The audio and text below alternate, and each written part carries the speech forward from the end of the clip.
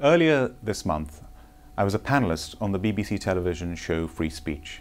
And during the show, I asked the audience, please put up your hands, those of you who eat curry regularly, those of you who love curry.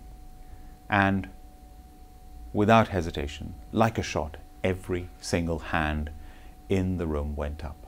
Of course, they all love curry. They were representative of this nation that absolutely loves curry. It's a way of life in Britain. Many congratulations to Saeed and Pasha and the whole Curry Life magazine team on the fifth Curry Life Chef Awards. This is wonderful. The awards are going from strength to strength.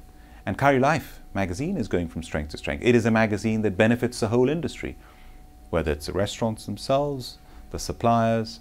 We all get information, we all can communicate with each other. It's a huge benefit to the industry. So thank you, Curry Life magazine, for what you're doing for us. But you don't just stick with the magazine, you're moving things on the whole time. The Chef Awards, and of course then the culinary workshops that have taken place for the second time this year, which I attended and spoke at. How wonderful to see Michelin-starred chefs like Dominic Chapman and Atul Kochhar coming and addressing restaurateurs from all around the country, sharing their knowledge, sharing the information so that we as an industry can improve and the restaurateurs coming down from everywhere to learn it was wonderful. Again, something Curry Life magazine has done to help the industry go from strength to strength. And of course, it's not just in Britain. Curry Life has taken curry abroad. In fact, curry back to India, starting with Calcutta last year and now Hyderabad. And in fact, talking about Hyderabad, I'm actually in Hyderabad while the awards are taking place. I'm very sorry I cannot be with you in person, but Hyderabad is where the last uh, curry festival took place, and next year it's going to be in Chennai. This is absolutely wonderful. And of course, there's Travel Life magazine that has now been started and a restaurant that's been opened up in Eastern Europe. This is wonderful. In fact, this is innovation, continual innovation, which is how businesses go from strength to strength. And at Cobra, I'm delighted that we have been going from strength to strength with our new Boss advertising campaign, with the 78 gold medals that we've now won in the Monde selection that we're very proud of. And I really would like to appreciate and give my thanks to Samson Sahel and our wonderful team at Cobra who always operate with integrity and with utter belief and confidence in our product. And I'm proud to say we have a new product uh, that has been launched today uh, that you have on your tables, Cobra Foundation Belu Water, that you will be hearing more from Karen Lynch, the Chief Executive of Belu. And we're thrilled with this partnership where we as an industry will able to raise money for South Asia for water aid.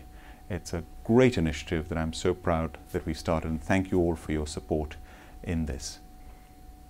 Looking ahead, it's going to be a very exciting time, but looking back, we've gone through a very tough time in the industry.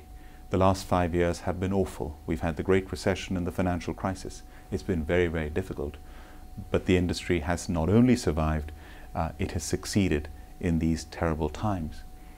And I believe it has done this because it's an industry that has believed in itself with confidence. Recently, I was appointed by the government to the committee of the Mahatma Gandhi statue that is going to be installed in Parliament Square next year, alongside Nelson Mandela, Abraham Lincoln. And this is wonderful. Mahatma Gandhi has many, many famous sayings. And my favorite, favorite saying of his, which I will paraphrase, is that your beliefs become your thoughts. Your thoughts become your words. Your words become your actions. Your actions become your habits. Your habits form your character. And your character determines your destiny.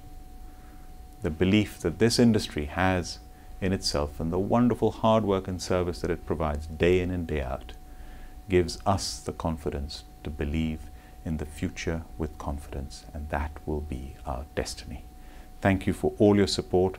I wish you a wonderful evening and many, many congratulations once again to Curry Life and to all the chefs and all the award winners this evening. Thank you very much.